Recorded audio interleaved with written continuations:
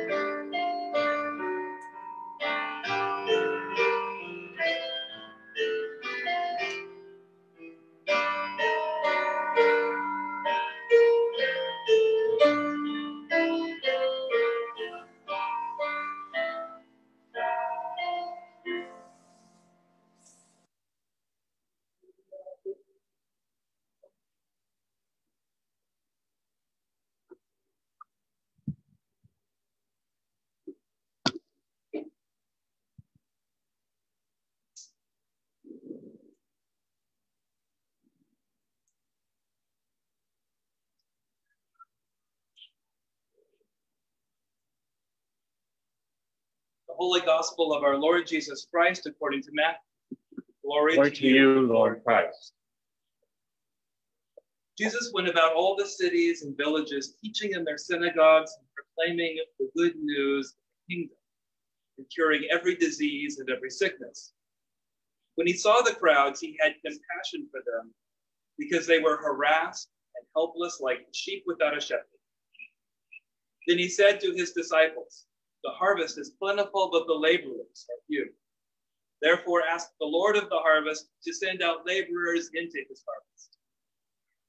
Then Jesus summoned his 12 disciples and gave them authority over unclean spirits to cast them out and to cure every disease and every sickness.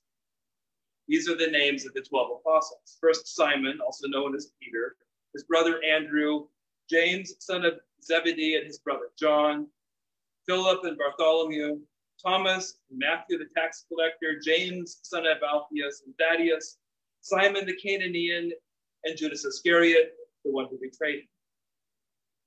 Then Jesus sent out with sent them out with the following instructions. Go nowhere among the Gentiles and enter no town of the Samaritans, but rather go to the lost sheep of the house of Israel. And as you go, proclaim the good news. The kingdom of heaven has come near. Cure the sick, raise the dead, cleanse the lepers, cast out demons.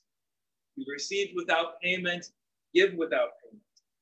Take no gold or silver or copper in your belts, no bag for your journey, or two tunics or sandals or a staff, for laborers deserve their food. Whatever town or village you enter, find out who in it is worthy and stay there until you leave. As you enter the house, greet it. If the house is worthy, let your peace come upon it. But if it is not worthy, let your peace return to you. If anyone will not welcome you or listen to your words, shake off the dust from your feet as you leave that house or town. Truly, I tell you, it will be more tolerable for the land of Sodom and Gomorrah on that day of judgment than for that town. See, I am sending you out like sheep into the midst of wolves. So be wise as serpents and innocent as doves. Beware of them, for they will hand you over to councils and flog you in their synagogues. You will be dragged before governors and kings because of me as a testimony to them and the Gentiles. When they hand you over, do not worry about how you are to speak or what you are to say. For what you are to say will be given to you at that time. For it is not you who speak, but the Spirit of your Father speaking through you. Brother will betray brother to death, and a father his child, and children will rise against parents and have them put to death, and you will be hated by all because of my name. But the one who endures to the end will be saved. When they persecute you in one town, flee to the next. For truly I tell you, you will not have gone through all the towns of Israel before the Son of Man comes. The Gospel of the Lord. Praise to you, Lord Christ. May the word of God be spoken. May the word of God be heard in the name of the Father and of the Son and of the Holy Spirit. Amen. Well, uh, the, this Sunday we're doing something a little new with Zoom and Facebook. So I'll look forward to hearing from you. Please tell us how it's gone. It's working, it does allow us to have others uh, sign in to read the lesson. So it's nice to see uh, Suzanne reading our lessons today. Thank you, Suzanne. Uh, today's gospel is are Jesus' instructions to his disciples uh, about going out.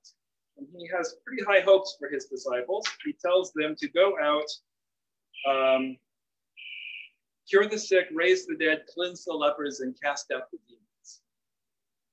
And to, to do this, um, they are supposed to uh, not prepare, not take anything extra with them um, not an extra bag, not an extra tunic, no extra money. They're supposed to go out and uh, don't prepare what to say, even though you'll be dragged before the authorities. And it's going to go badly. Everyone's going to hate you, and the kingdom of God will come near. How's that for instructions on the Christian life? Um, that's how it went for the disciples. It's exactly how it went. They traveled uh, they proclaimed the good news. They were dragged before authorities. People hated them, and the gospel spread through the entire known world. Um, uh, it's almost five years ago now that Jen and I went on our sabbatical journey by bicycle in South America and southern Mexico. And uh, I did not follow Jesus' instructions for this tour. I was uh, thought I was on a bicycle tour, not a gospel journey. Um, so for this bicycle tour, we flew into Bolivia, and I had backups of everything. I thought uh, for our tour, I had extra spokes, extra cables, extra uh, seat tubes, tires, inner tubes, shift, shifters, brakes. I was ready, I thought, for anything. But I didn't even get started to see how unprepared I was. Uh, when the bikes arrived, somehow one of the airlines had broken my bottom bracket. The bottom bracket is where the pedals go through the frame at the very bottom of the bike. Um, absolutely essential. And that mine were wobbling as I pedaled. That was about the only extra piece I didn't have with me on that tour. And so, what am I going to do? I was a little panicked. Uh, so I Googled bicycle shops in Sucre, Bolivia, and it ends up that Google knows almost nothing about Sucre, Bolivia, almost nothing about Bolivia at all. So I mentioned it to our German hotel owner, and he knew a guy who knew a guy who knew a guy. And so one morning early, I set out pedaling to the hilly streets of Sucre, Bolivia at about 9,000 feet and found my way to Richard. Richard Strada Bicicletatero, his bicycle shop. And there he was. Not only was he a bicycle mechanic, he was the master, he was the Masters mountain bike champion. And my Spanish at that point was still really poor on this journey. I was just getting started. My Spanish was academic, not practical. I didn't know bike, the names of bicycle parts, but we both spoke bicycle we started talking. He showed me pictures of his races. I told him what we were planning to do. I told him, showed them the problem I had that my bracket was wobbly, and he got busy fixing my bike. He uh, was cannibalizing parts from various brackets, from various bikes all around his shop, and I was a little nervous because it wasn't coming out of a nice, nice neat uh, Shimano box with everything in it. Um, we put it together. Um, we did some bartering for different types of equipment. He liked some of the things I had. I liked some of the things he had. And we did some bartering and agreed to a, a payment. And that bottom bracket is still the bottom bracket on my bike. It took me all the way through uh, South America and Southern Mexico. Uh, but it wasn't just about the bottom bracket. It was about Richard. It was about that encounter together, one cyclist to another, that I would have never had if I'd brought, brought with me the bottom bracket, if I'd learned how to do that complex with him. Now, I brought so many things with me on that, on that sabbatical journey. And I carried them up 10,000 foot climbs and down 10,000 foot climbs, and I didn't need them. Uh, for some reason, I thought going out into South America, I had to have everything, not even realizing that the people among whom we traveled knew how to solve their problems. They knew how to make repairs. They were resourceful and wonderful. And we learned for subsequent tours to take so much less. We didn't need all those things with us. Uh, in fact, it's better not. We learned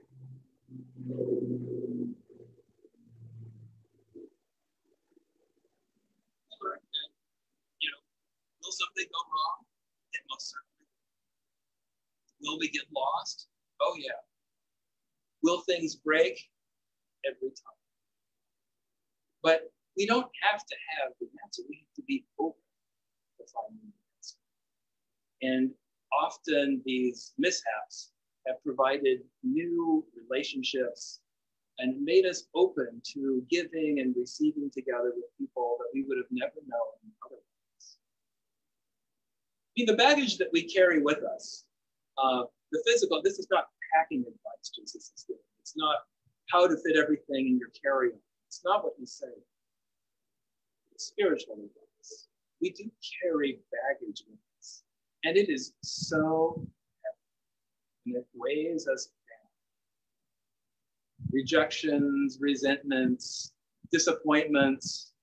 Jesus says, shake them off like dust from your feet. Let them go. Let it go. I thought I was on a bicycle tour, but I ended up being on a gospel journey. Was a gospel journey. Learning how to let go, have less, encounter more. Know that I'm not all sufficient. Nobody is independent.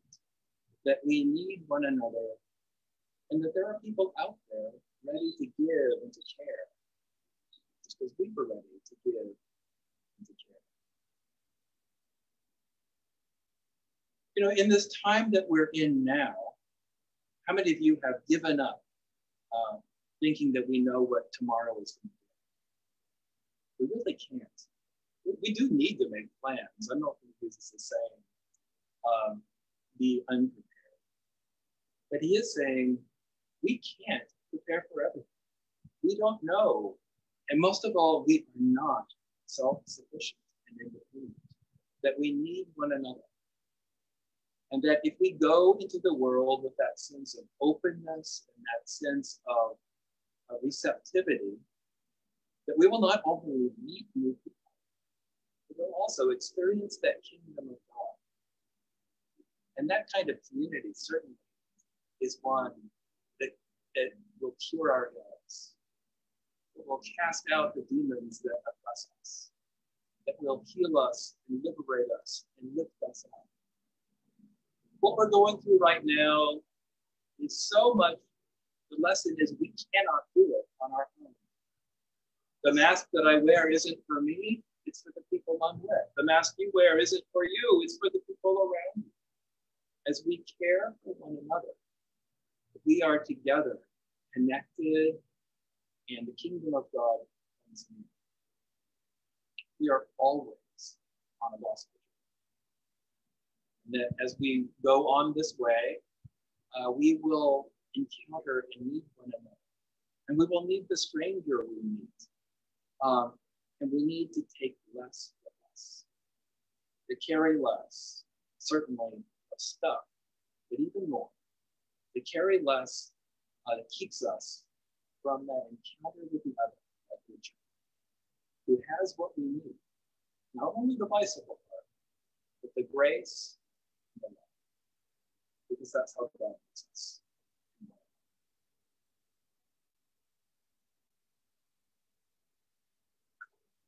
Let's continue with the creed. We believe on one God, the Father the Almighty, maker of heaven and earth, of all that is seen and unseen.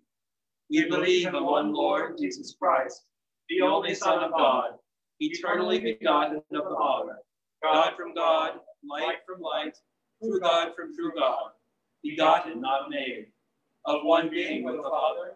Through him all things were made. For us and for our salvation, he came down from heaven. By the power of the Holy Spirit, he became incarnate from the Virgin Mary and was made man. For our sake, he was crucified under Pontius Pilate. He suffered death and was buried. On the third day, he rose again in accordance with the scriptures. He ascended into heaven and is seated at the right hand of the Father. He will come again in glory to judge the living and the dead, and his kingdom will have no end. We believe in the Holy Spirit, the Lord, the giver of life, who proceeds from the Father and the Son. With the Father and the Son, he is worshipped and glorified. He has spoken through the prophets. We believe in one holy Catholic and Apostolic Church. We acknowledge one baptism for the forgiveness of sins. We will look for the resurrection of the dead and the life of the world to come. Amen. In peace we pray to you, Lord God. For all people in their daily life and work. For our families, friends, and neighbors, and for those who are alone. For this community, the nation, and the world. For all who work for justice, freedom, and peace for the just and proper use of your creation, for the victims of hunger, fear, injustice, and oppression, for all who are in danger, sorrow, or any kind of trouble, for those who minister to the sick, the friendless, and the needy, for the peace and unity of the Church of God, for all who proclaim the gospel and all who seek the truth, for Michael, our presiding bishop, Peter, our bishop, and for all other bishops and ministers for all who serve God in His church. We pray for those on our prayer list today. for Mark Sandground, Michael Werner, for Jim, Nan, Drew, Daniel, Sophie, and Bob Wagstaff. Hear us, Lord. For your mercy is great. We thank you, Lord, for all the blessings of this life. We will exalt you, O God, our King. And praise your name forever and ever. We pray for all who have died that they may have a place in your eternal kingdom, especially Mildred Mario, uh, Laurie Highsmith, Ronald David Sweeting, Tom Farned, Ann Rydell, Ken Waterman, Martha Reynolds, Linda Sorensen, and Mia for your prayers.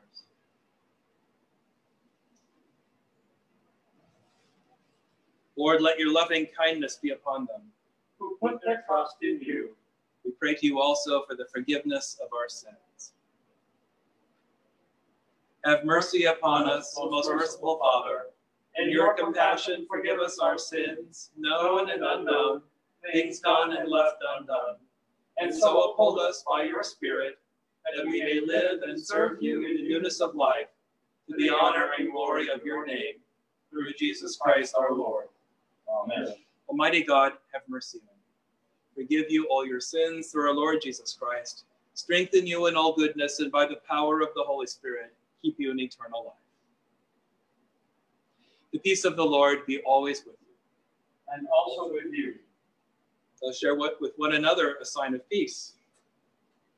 Peace with you. Peace.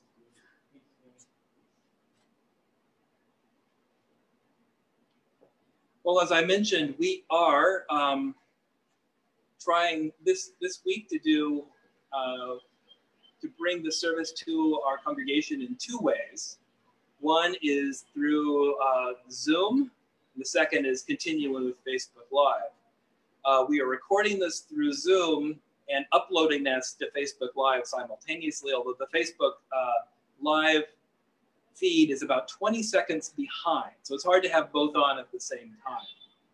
The nice thing about the, um, about the Zoom link is that it allows others to come in and see one another um, and share the piece together uh, it allowed Suzanne to be our reader this morning, which is really nice to see someone else here uh, helping uh, lead our service. Uh, but please let us know how this is going. Uh, the other thing that doing a Zoom uh, service allows people to do is people who don't have internet access can call in and listen on their phone. So we're hoping that this is a way for more people to be able to have our services brought to them digitally even as we plan to uh, how we're going to reopen in, in the coming weeks. It's um, we're not going to stop doing this digital service. We have people joining us from all over the country.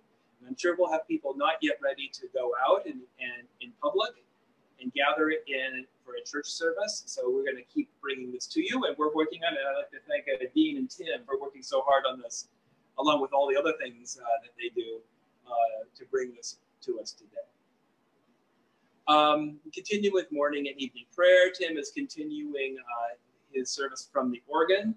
And uh, I think you're taking requests for hymns, isn't that right? Correct. All right. So if you'd like to, send to Tim at St. Paul's Key West right, you can send your uh, hymn request to Tim at stpaulskeywest.org, and he'll uh, play your hymn for you. I'm tempted to choose uh, to, to be a little mischievous and make the request right now, but I'll, I'll refrain. Uh, it's nice that uh, Clover has joined us again for the service. I will point the camera to Clover, who is sitting comfortably on the uh, sitting comfortably on the bench. Clover joined us for the absolution of sins. He's a mischievous cat, probably uh, needs the grace. Um, so it's always nice to have Clover with us. Um, but we will continue with our service with this offertory. Let us uh, walk in love as Christ loved us and gave himself for us an offering and sacrifice.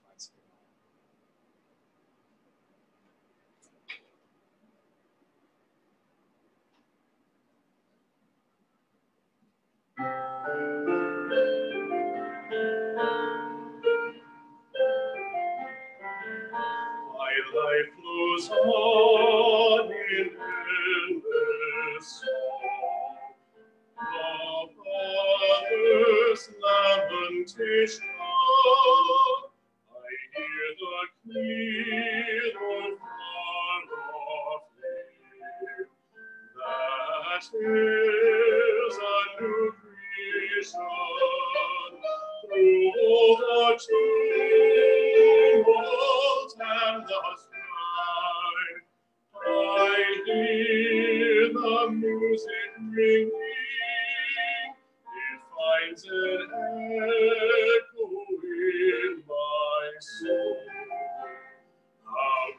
keep from singing?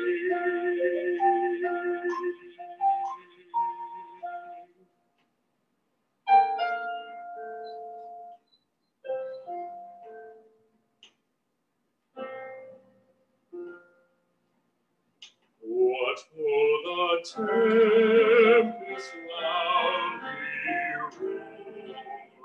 I know my Savior the darkness. Deep in the night, sweet songs he giveth, is with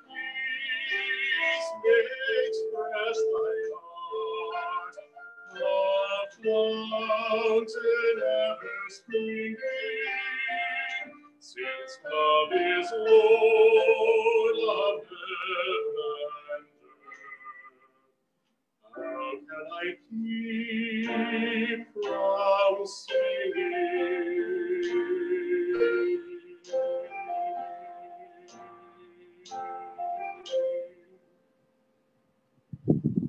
How can from singing? Singing. Singing.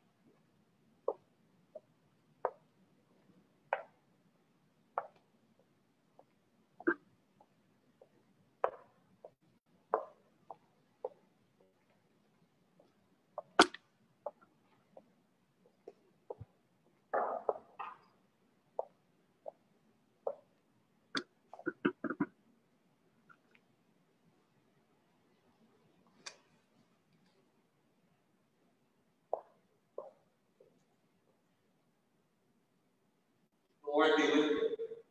and also with you. Lift up your hearts. We lift them to the Lord.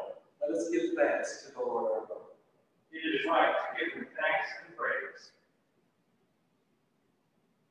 It is right and good and joyful and always and everywhere to give thanks to you, Father Almighty, creator of heaven and earth. For you are the source of light and life. Made us in your image and called us to new life in Jesus Christ our Lord. Therefore we praise you, joining our voices with angels and archangels, with all the company of heaven, who forever sing this hymn to proclaim the glory of your name. Holy, holy, holy Lord, God of power and might, heaven and earth are full of your glory. Hosanna in the highest. Blessed is he who comes in the name of the Lord. Hosanna in the highest. We give thanks to you, O God, for the goodness and love which you have made known to us in creation. In the calling of Israel to be your people, in your word spoken to the prophets, and above all, in the word made flesh, Jesus. For in these last days you sent him to be incarnate of the Virgin Mary, to be the Savior, Redeemer of the world. In him you have delivered us from evil and made us worthy to stand before you. In him you have brought us out of error into truth out of sin into righteousness, out of death into life.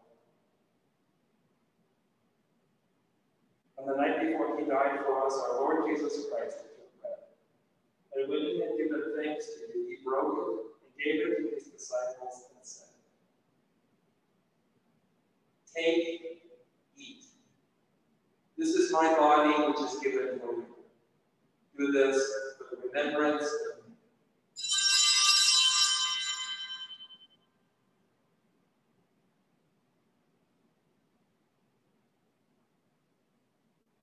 After supper, he took the cup of wine. And when he had given thanks, he gave it to them and said, Drink this, all of you. This is my blood of the new covenant, which is shed for you and for many for the forgiveness of sins. Whenever you drink it, do this for the remembrance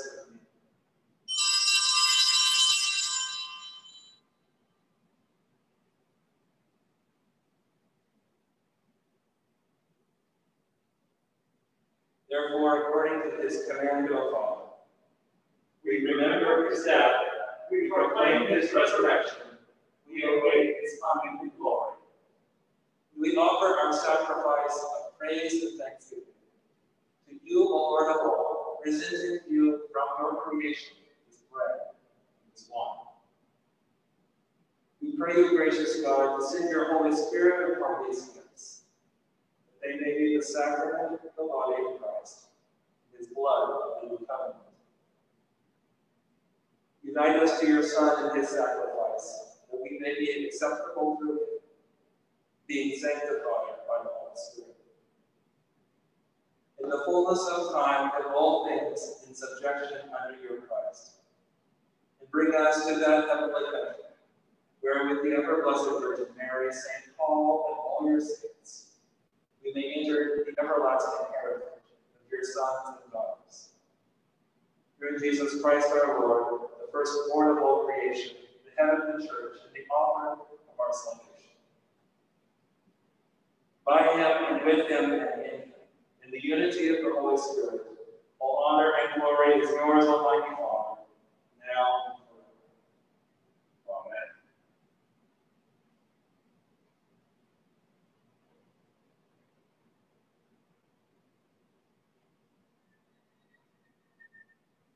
And now, as our Savior Christ has taught us, we are bold to say, Our Father, who art in heaven, hallowed be thy name.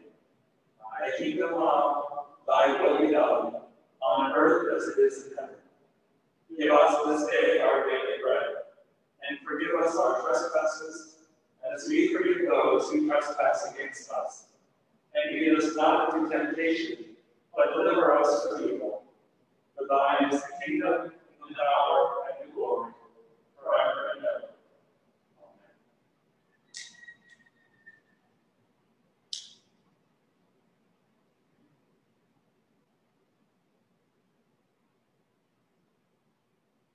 Hallelujah, Christ our Passover is sacrificed for us. Therefore, let us keep the feast. Hallelujah. To the gifts of God and for the. We take them, we share them, uh, we experience them together in remembrance that Christ died for us. We feed on him in our hearts by faith. Let us now pray with those who cannot receive uh, this sacrament this morning. In union, O Lord Jesus Christ, With the faithful at every altar in your church, where your blessed body and blood are being offered. I join in offering the sacrifice of my praise and thanksgiving to you. I present to you myself, my soul, and my body, with the earnest longing that I may ever be united to you. And since I cannot now receive you in this holy sacrament, Come spiritually, I bring you, into my heart. I unite myself to you, and love you with all my heart, with all my soul, Let nothing ever separate me from you. Let me live and die in your love.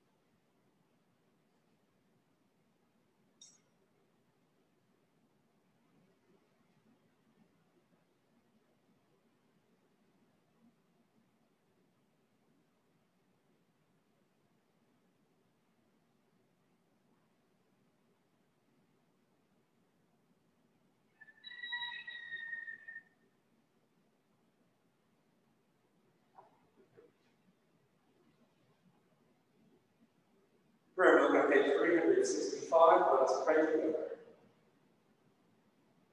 Eternal God, Heavenly Father, you have graciously accepted us as living members of your Son, our Savior, Jesus Christ. And you have fed the spiritual food in the sacrament of his body and blood.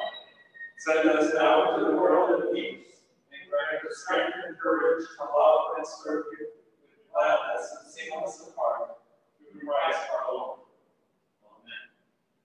The peace of God, which passes all understanding, keep your hearts and minds in the knowledge and love of God, and of his Son, Jesus Christ our Lord. And the blessing of God Almighty, the Father, the Son, and the Holy Spirit, be upon you now and remain with you always. Amen. Let us bless the Lord. Thanks be to God.